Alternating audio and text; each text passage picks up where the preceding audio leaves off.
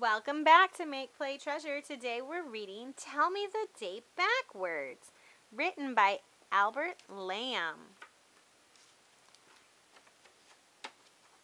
Let's play that game we used to play last summer, said Timmy Bear as he got into bed for the night.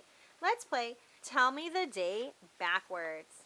Oh, I remember that game, Mama Bear said as she tucked him in. You start.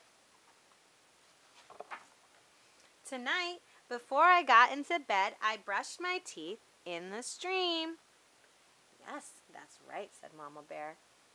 That was after we watched the sunset from the top of the hill. And do you remember what happened before that?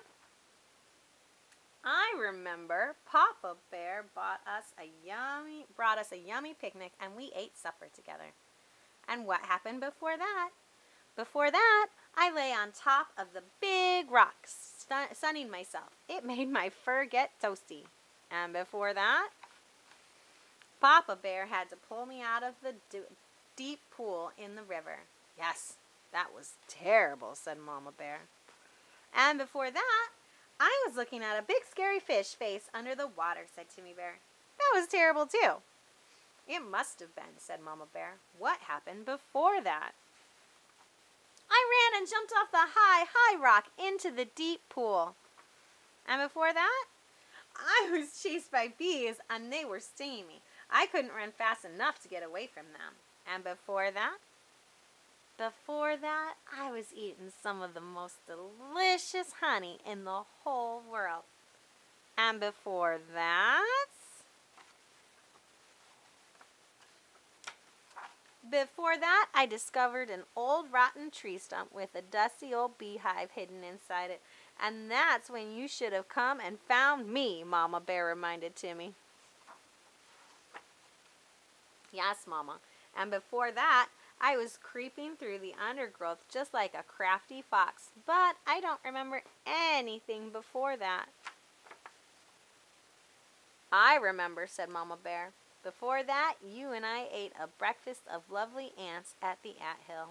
Ant hill. That was yummy too, said Timmy Bear. And what before happened before that? Before that was early. The sun was just coming up, and you and I stepped out of the cave. We saw all those purple butterflies. And before that? Before that, I think you were sitting by my bed waking me up.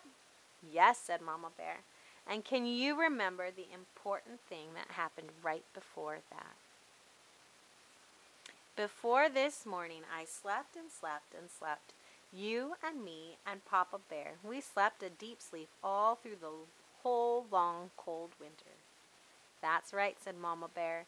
But tonight, we'll sleep for just one night. Timmy Bear was very sleepy now. Good night, Mama Bear. Good night, Timmy. Sleep tight. Timmy Bear closed his eyes, and soon he was fast asleep.